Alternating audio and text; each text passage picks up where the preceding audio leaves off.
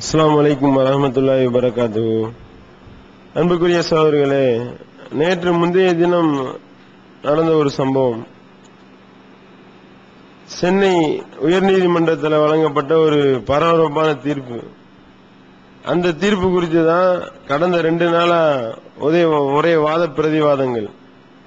இந்தியாவையே கலகலக்கிய தீர்ப்பு கலக்க வைத்த தீர்ப்பு. இப்படிப்பட்ட ஒரு தீர்ப்பின் காரணமாக பல பேர் அதிர்ச்சி பல பேர் மகிழ்ச்சி அப்படின்னு சொல்லிட்டு இந்த இரண்டு நாட்கள் இந்த மீடியாக்கள்ல எழுதக்கூடிய செய்திகள் போதாக்குறைக்கு டிவி சேனல்கள்ல நேர்பட பேசு மறைந்திருந்து பேசுன்னு சொல்லிட்டு அதுல ஒரு நாலு பேரை கூப்பிட்டு உட்கார வச்சுக்கிட்டு அந்த தீர்ப்பு சம்பந்தமாக தீர்ப்பு சொல்லப்பட்ட நபர்கள் முஸ்லீமாக இருந்ததுனால வெறுவாய்க்கு அவுள் கிடைச்சா என்ன ஆகும்? சாதாரண வாயில இஸ்லாமிய சம்பந்தமான இஸ்லாம் குறித்த முஸ்லீம் குறித்த ஒரு விஷயமா இருந்தா மண்ணா இருந்தா கூட அள்ளி திம்பார்கள். அவர்களுக்கு அவில் கிடைத்தால் என்ன ஆகும் என்று சொல்லக்கூடிய அளவிற்கு இந்த ஒரு தீர்ப்பை பயன்படுத்தி கொண்டு கூடிய ஒரு நிலையை பார்க்கின்றோம். என்ன தீர்ப்பு? ஒரு கணவன் மனைவி என்று சொல்லப்படக்கூடியவர்கள். ஆரம்பிக்கிறது இப்படிதான் ஆரம்பிக்கிறாங்க. ஆயிரத்தி தொள்ளாயிரத்தி தொண்ணூத்தி நாலாம் ஆண்டு இவர்கள் இருவரும் பேர் வந்து நஜீமா இஸ்மாயில் கண்டவெளிய பேர் எழுதுறாங்க. முஸ்லீம் அப்படின்றத நிறுவுறாங்க நஜீமா இஸ்மாயில் ரெண்டு பேரும் வந்து கல்யாணம் பண்ண கல்யாணம் பண்ணதாக கூறப்படுகிறது. ஆயிரத்தி தொள்ளாயிரத்தி தொண்ணூத்தி ஒன்பதுக்குள்ள அவர்களுக்கு இரண்டு குழந்தைகள். ரெண்டு குழந்தைகள் பெற்றதாக கூறப்படுகிறதுன்னு போடல. ரெண்டு குழந்தைகள் இருக்கின்றார்கள். அந்த நிலையில கணவர் வந்து கணவர் என்று சொல்லப்படக்கூடியவர் பிரிந்து விட்டார். அப்ப வந்து பொண்டாட்டிக்காரவங்க வந்து பொண்டாட்டின்னு சொல்லப்படக்கூடிய இந்த பெண்மணி வந்து போய் குடும்ப நல கோர்ட்ல கேஸ் போடுறாங்க. இந்த மாதிரி என்னை பிரிஞ்சுட்டு போயிட்டாரு எனக்கு ஜீவனாம்சம்லாம் கொடுக்கணும் அப்படின்னு சொல்லிட்டு. அப்ப கணவன் என்று சொல்லப்படக்கூடியவருடைய தரப்புல இருந்து கல்யாணமே நான் பண்ணல இந்த பொம்பளைய அப்படின்னு சொல்லி வாதம். அதுக்கு வந்து கல்யாணம் என்பதற்கு ஆதாரத்தை கொண்டு வந்து சமர்ப்பிங்க அப்படின்னு சொல்லி குடும்ப நல கோர்ட்டு உத்தரவு போடுறாங்க. குடும்ப நல கோர்ட்டு உத்தரவு போட்டா கல்யாணம் பண்ணா கல்யாணம் பண்ண சர்டிபிகேட்டை கொண்டு காட்டணுமா இல்லையாங்க? முஸ்லீம் பெர்சனல் அடிப்படையில இஸ்லாமிய சட்டம்னு ஒண்ணு இருக்கு. இஸ்லாத்துல எப்படி திருமணம் முடிக்கணும்ன்ற சொல்லப்பட்டிருக்கின்றது. முஸ்லீம்கள் எப்படி திருமணம் பண்ணுவாங்கன்றது இருக்கு. அந்த இஸ்லாமிய சட்டத்தை இந்த அரசியல் அமைப்பு சாசன சட்டமும் ஏற்றிருக்கின்றது. இவ்வளவு விஷயம் இதுல இருக்கு. அப்ப வந்து அந்த பெண்மணி என்ன சொல்றாங்கன்னா கல்யாண சர்டிபிகேட்டை தவிர மற்ற எல்லாம் காட்டலாம்? கல்யாணம் கல்யாணம்னா கல்யாண சர்டிபிகேட்டை காட்டுங்க இல்லாட்டி அதற்குண்டான சாட்சிகள் இருக்கும். பொண்ணுடைய பொறுப்பாளர் இருப்பார். இவ்வளவு விஷயங்கள் இருக்கின்றது. ஆனா என்னவா? திருமணம் நாங்க முடிச்சிருக்கோம். இவர் எனக்கு கணவர் தான் அப்படின்றதுக்கு அவருடைய குழந்தையுடைய பெர்த் சர்டிபிகேட்டை காட்டினாங்களாம். குழந்தையுடைய டிரான்ஸ்பர் சர்டிபிகேட்டை காட்டினாங்களாம். ரெண்டு பேரும் சேர்ந்து எடுத்த போட்டோவை காட்டினாங்களாம். பிள்ளைங்கள் வந்து அவங்க அப்பாக்கு எழுதின கடிதத்தை சமர்ப்பித்தார். இதுவா ஆதாரம்? புருஷன்றதுக்கு ஆதாரம் இதுவா? அப்ப வந்து இதெல்லாம் அப்பனா என்னன்னா கல்யாணம் நடக்கல. ரெண்டு பேர் என்ன பண்ணிருக்காங்க? இந்த நஜிமா இஸ்மாயிலோ எந்த ஏதோ ஒரு பேர் கொண்ட ரெண்டு பேர் என்ன பண்ணிருக்காங்கன்னா உபச்சாரம் செய்து கொண்டிருந்திருக்கின்றார்கள் இத்தனை வருஷம். உபச்சாரத்தின் மூலமாக ரெண்டு குழந்தை. என்ன தீர்ப்பு சொல்றாங்கன்னா ரெண்டாயிரத்தி ஆறுல குடும்ப நல கோர்ட்டுல ரெண்டாயிரத்தி ஆறாவது வருஷம் அதாவது அந்த இரண்டு குழந்தைகளும் இவருக்கு பிறந்த குழந்தைகள். இஸ்மாயில்ன்றவருக்கு பிறந்த குழந்தைகள் தான் ஆனால் இஸ்மாயில் வந்து நஜிமாவுடைய புருஷன் இல்லை அப்படின்னு தீர்ப்பு கொடுக்குறாங்க. எப்படின்னு பாருங்க. அதாவது குழந்தை அவங்க குழந்தை தான் அவர் குழந்தை தான். ஆனால் அந்த பெண்மணிக்கு இவர் புருஷன் இல்லை அப்படின்னு சொல்லி தீர்ப்பு. தீர்ப்பு சொன்னவனே அவங்க வந்து அப்பீல் பண்றாங்க சென்னை ஹைகோர்ட்ல. அந்த சென்னை ஹைகோர்ட்ல அப்பீல் பண்ணதுக்கு தான் தீர்ப்பு கொடுத்துருக்கிறாங்க. என்ன தீர்ப்பு? அதாவது ரெண்டு பேரு பதினெட்டு வயசை தாண்டிய பொம்பளையா இருந்து இருபத்தோரு வயசை தாண்டிய ஆம்பளை ரெண்டு பேரும் உடலுறவு கொண்டு விட்டார்களே ஆனால் முடிஞ்சு போச்சு. கல்யாணம்ன்றது தேவையில்லை. ரெண்டு பேர் உடலுறவு கொள்ளுவாங்களே அதுதான் திருமணம். இதுக்கு வந்து சாஸ்திரம் சம்பிரதாயம் சடங்கு தாலி கட்டுறது அம்மி மிதிக்கிறது அருந்ததி பாக்குறது மோதிரம் மாத்துறது எதுவுமே செய்ய தேவையில்லை. ரெண்டு பேரும் ஒரே ஒரு வேலை பண்ணா மட்டும் போதும். உடலுறவு கொண்டால் மட்டும் போதும். உடலுறவு கொண்டாலே இவர்கள் இரண்டு பேரும் கணவன் மனைவிகள் ஆகிவிட்டார்கள். அப்படின்னு சொல்லி கர்ணன் என்ற நீதிபதி தீர்ப்பு வழங்குறாருங்க. தீர்ப்பு வழங்கினதுதான் தாமதம். அது வந்து பெண்களை பாதுகாக்கக்கூடிய அருமையான தீர்ப்பு வரவேற்பு. பெண்களை பாதுகாக்கிறது இந்த தீர்ப்பு எப்படிப்பா பெண்களை பாதுகாக்கும்? பெண்களுடைய அந்த வாழ்வுக்கு ஒரு வளம் சேர்க்கக்கூடிய ஒரு வளமையான தீர்ப்பு வலிமையான தீர்ப்பு என்று சொல்லக்கூடியதை பார்க்கின்றோம். அதோடு மட்டுமில்லாமல் ஒரு பக்கம் இப்படி கிளம்பினாங்க. முஸ்லீமா இருக்கிறானா ரெண்டு பேரும் முஸ்லீம்ல? முஸ்லீம்கள்லாம் இப்படித்தான். இவர்கள் எல்லாம் இப்படித்தான் பண்ணுகின்றார்கள் என்று சொல்லி சங் பரிவார அந்த தீவிரவாதிகளை கொண்டு வந்து உட்கார வச்சு நம்மளை திட்டமிடக்கூடிய ஒரு வேலையையும் செய்து கொண்டிருக்கின்றார்கள். இதுல விஷயம் என்னன்னா முதல்ல இந்த நஜிமா இஸ்மாயில்ன்றது முஸ்லீம். முஸ்லீம்கள் இரண்டு பேர் வந்து இஸ்லாமிய அடிப்படையில் அவர்கள் திருமணம் பண்ணியிருப்பார்களே ஆனால் நடந்து சொல்லப்பட்டிருக்கக்கூடிய தீர்ப்பே வேறவா இருந்திருக்கும். முஸ்லீம் பிரச்சனை அடிப்படையில் தீர்ப்பு வழங்கியிருக்கணும். அப்படி முஸ்லீம் பிரச்சனை அடிப்படையில் தீர்ப்பு வழங்காம அவங்க ரெண்டு பேரும் தான் தோண்டித்தனமா விபச்சாரம் பண்ணிக்கிட்டு தெரிந்ததுனால இந்திய அரசியலமைப்பு சாசன சட்டம் என்ன சொல்லுதோ? அந்த தீர்ப்பை வழங்கி விட்டார்கள் அதுதான் விஷயம். இவங்க ரெண்டு பேரும் இஸ்லாமிய அடிப்படையில் கல்யாணம் பண்ணிட்டு போய் கோர்ட்ல போட்டிருந்தாங்கன்னு வைங்க. இந்த தீர்ப்பு சொல்ல முடியுமா? இப்படி தீர்ப்பு சொன்னா நாடு ரணகலமாகி இருக்கும் இஸ்லாமியர்கள் கொதித்தெழுந்திருப்பார்கள் முஸ்லீம் பிரச்சனை என்னடா கை வைக்கிறீங்க? என்று சொல்லி முஸ்லீம் அவர்களுக்கு எதிராக நாடு கொதித்தெழுந்திருக்கும் ஆனா நிலைமை என்னன்னா அவங்க இஸ்லாமியர்களா வாழல. அவன் முஸ்லீம் என்ற வட்டத்திலிருந்து அந்த ரெண்டு பேரும் விபச்சாரத்தின் பக்கம் போய் கல்யாணம் பண்ணாம ரெண்டு பிள்ளைய பெற்றதுனால காரி துப்பக்கூடிய நிலைமைக்கு அவர்கள் தள்ளப்பட்டிருக்கிறார்களே ஒழிய இதுல எங்க இஸ்லாத்துக்கு ரோல் இருக்கு? எவனா ஒருத்தன் தண்ணி அடிச்சான்னா அதுக்கு நம்ம இஸ்லாமா பொறுப்பு? முஸ்லீமா பிறந்த ஒருத்தன் வட்டி வாங்கினான்னா அதுக்கு இஸ்லாமும் திருக்குறானும் நபியல் நாயம் சல்லாஹம் காரணம். ஆனா அதே நேரத்துல மற்ற ஆளுகள் பண்ணா மட்டும் தெளிவா பார்க்க தெரியும். அதாவது ஒரு இந்த டெய்லி படிக்கிறோமா இல்லையா?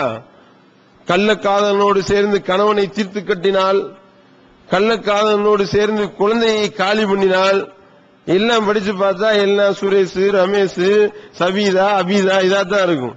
அப்ப நீங்க போட்டீங்களா? இந்த மீடியாக்கள் எழுதினார்களா? இந்த மாதிரி இந்துக்கள் என்றாலே இப்படித்தான். அப்படின்னு போ- போடுவாங்களா?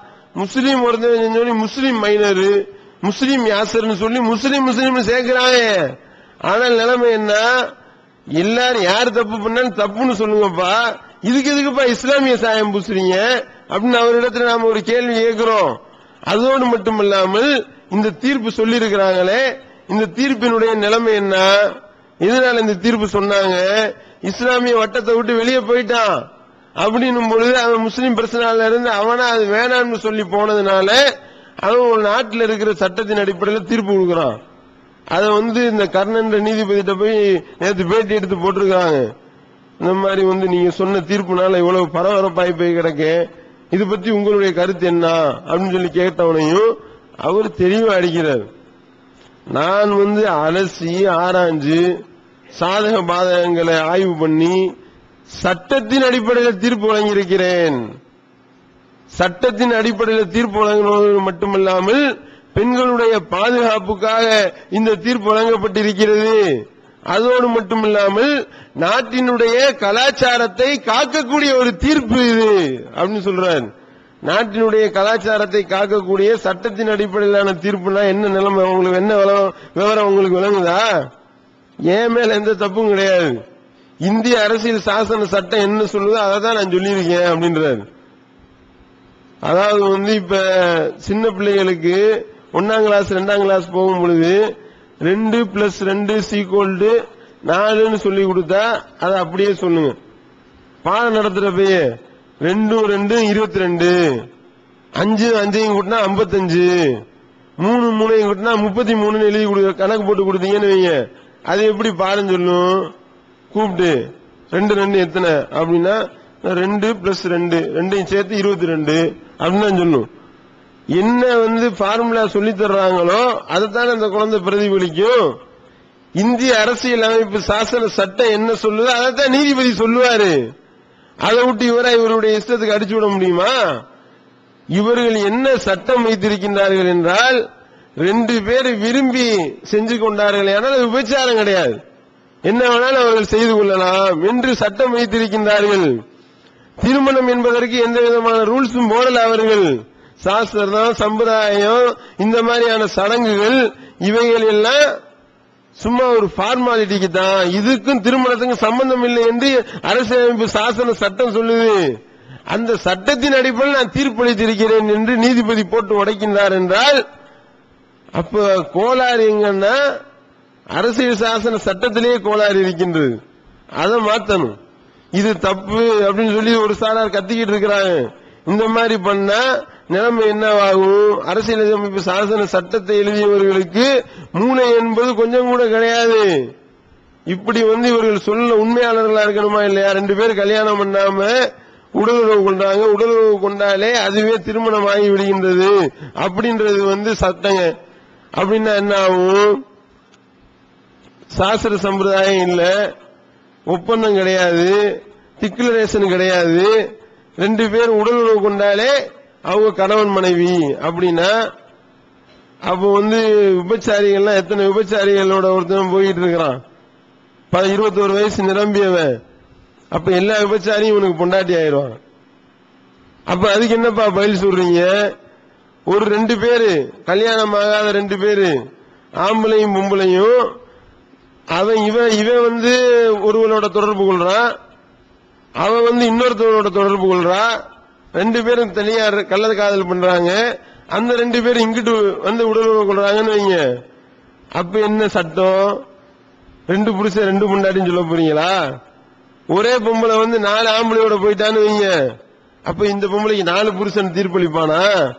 என்ன சட்டம் சொல்றீங்க? இந்த சட்டம் நீங்க வழங்கி இருக்கக்கூடிய தீர்ப்பை வச்சு ஆய்வு பண்ணி பார்ப்போமா? இந்த நாங்க கேட்கக்கூடிய கேள்விக்கு உங்களால பதில் சொல்ல முடியுமா? அப்ப விபச்சாரத்துக்கும் திருமணத்துக்கும் ஒரு வித்தியாசமும் கிடையாது. என்று சொல்லி தீர்ப்பு சட்டம் எழுதி வைத்திருக்கின்றார்கள் என்றால் அப்ப மாற்றப்பட வேண்டியது வந்து நீதிபதிகளை மாற்ற முடியாது. எந்த நீதிபதியை கொண்டு வந்து உட்கார வச்சாலும் இதைத்தான் தீர்ப்பா சொல்ல போறாங்க. சட்டத்தை மாற்ற வேண்டும். இஸ்லாம் சொல்லக்கூடிய தீர்வை நீ கையில் எடுத்து பாரு. இஸ்லாம் சொன்ன மாதிரி நீ தீர்வு சொல்லி பாரு. விபச்சாரம் நடக்குமா? இந்த மாதிரி வந்து திருமணம் என்பது என்ன? அது ஒரு உடன்படிக்கை. பெண்ணுடைய பொறுப்பாளர் இருந்து திருமணம் முடிச்சு வைக்கணும். இரண்டு சாட்சிகள் இருக்கணும். தன் தன்னுடைய மனைவிதான் என்று அவன் டிக்ளேர் பண்ணணும். அப்படி நீ டிக்ளேர் பண்ணி பாரு. டிக்ளேர் பண்ணி எவன் இந்த மாதிரியான சட்டப்பூர்வ திருமணத்தை தவிர மற்ற அனைத்து உடல் உறவு அனைத்து விதமான உறவுகளும் பாலியல் ரீதியான உறவுகளும் தண்டிக்கப்பட வேண்டியவை. கடுமையா தண்டனை கொடுக்கப்பட வேண்டிய குற்றம் அப்படின்னு சொல்லி நீ அறிவிச்சு பாரு. நடக்குமா? ஆனா இங்க என்ன? விரும்பி போனா பஞ்சாயத்து கிடையாது. விரும்பி ரெண்டு பேரும் உடல் உறவு கொண்டு விட்டார்களே ஆனால் அவர்கள் மேல் நடவடிக்கை எடுக்க முடியாது. அவங்க விரும்பித்தானே செஞ்சாங்க என்று நீங்கள் சட்டம் வச்சிருக்கிறீங்களே. இதுதான் அனைத்து பஞ்சாயத்துக்கும் காரணமா இருக்கு. இஸ்லாமிய லா அடிப்படையில இஸ்லாம் சொல்லக்கூடிய தீர்வின் அடிப்படையில நீங்க தீர்ப்பு சொன்னீங்கன்னு வைங்க. இந்த ரெண்டு பேரையும் கல்லால் எறிஞ்சே கொல்லணும். கல்யாணம் பண்ணாம உடல் கொண்டு புள்ள பெற்றிருக்கிறான். அவனுக்கு வந்து சட்ட அங்கீகாரம் கொடுத்து அவங்களுக்கு ஜீவனாம்சம் கொடுத்து அவங்களுக்கு சகல வசதிகளை ஏற்பாடு பண்ணி கொடுத்து விபச்சாரத்தை ஊக்குவிக்க போறீங்களா? நாட்டில் எய்ட்ஸ் இன்னும் எய்ட்ஸ் வந்து சாகக்கூடிய ஆளுகள்லாம் பத்தாதா? எல்லாருக்கும் எய்ட்ஸ் வரணும்னு முடிவு எடுத்துட்டீங்களா அப்ப உங்களுடைய முடிவு என்ன? நீங்க என்ன சொல்ல வருகின்றீர்கள்? அப்ப வந்து அரசியல் அமைப்பு சாசன சட்டத்தையும் மாற்ற வேண்டியிருக்கு. பொது சிவில் சட்டம் தேவை பொது சிவில் சட்டம் தேவைன்னு கிடந்து குதிச்சுக்கிட்டு இருக்காங்க. இஸ்லாம் சொல்லக்கூடிய இந்த திருமண பந்தம் இருக்கா இல்லையா? எப்படி திருமணம் பண்ணணும்? திருமணம் பண்ணாம ஒரு விபச்சாரம் பண்ணுவானே ஆனால் இவ திருமண அந்த திருமண பந்தத்தின் மூலமாகவே தவிர வேற ரீதியில பாலியல் உறவு வைப்பானே ஆனால் அவன் கல்யாணம் முடிச்சிருந்தா அவனை கல்லால் எறிஞ்சு கொல்லுங்க. சட்டத்தை போடுங்க.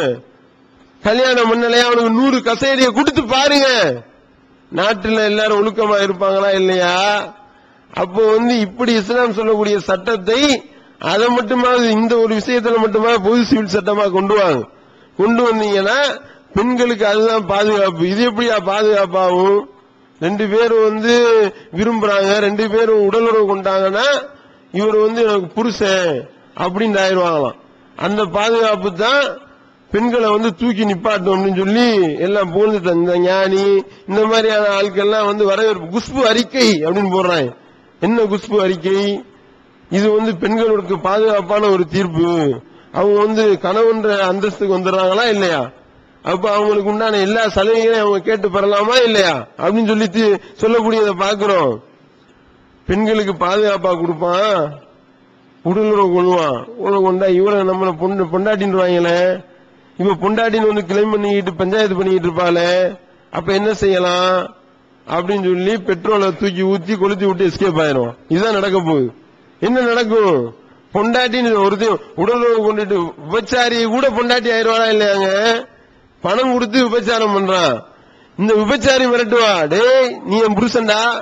அப்படின்னு சொல்லி மிரட்டினான்னா விபச்சாரிய காலி பண்ணக்கூடிய வேலையை செய்வானா இல்லையா? இது எப்படி பாதுகாப்பாகவும் சிந்திக்க மாட்டாங்க அப்ப இது பாதுகாப்பா? இது எப்படி பாதுகாப்பாகும் அப்ப இந்த மாதிரியான எந்த விதமான சிந்தனை திறனும் வேலை செய்ய மாட்டேங்குது இவர்களுக்கு. எல்லாம் வந்து இவர்கள் செ- தான் தோண்டித்தனமா செய்யக்கூடிய அனைத்தையும் சிறப்பானதாக இருக்கின்றது அப்படின்னு சொல்லக்கூடியதை பார்க்கிறோம். ஆனால் இஸ்லாம்னா இதுக்கு சரியான தீர்வு சொல்லுது. இது போன்று திருமண பந்தத்தை தவிர மற்ற எல்லா விதமான பாலியல் உறவுகளும் தடை செய்யப்பட வேண்டியவை. இந்த சட்டத்தை போடுவார்களே ஆனால் அவங்க வந்து நல்லபடியா இந்த உலகத்திலையும் வாழலாம் மறுமையிலையும் வந்து இறைவனை சரியான முறையில் நம்பினா மறுமை வெற்றி கிடைக்கும். அப்படி இல்லாம இப்படி கூறுகட்ட சட்டங்களை போட்டால் எல்லாரும் ஈட்ஸ் நோயாளியா வந்து சாகக்கூடிய ஒரு நிலைதான் ஏற்படும். அப்படின்றதை இவர்களுக்கு எச்சரிக்கையாக கூறிக்கொண்டு நிறைவு செய்கின்றேன். வாயுதவானாலும் இல்லா இரபிலான அல்லாஹ்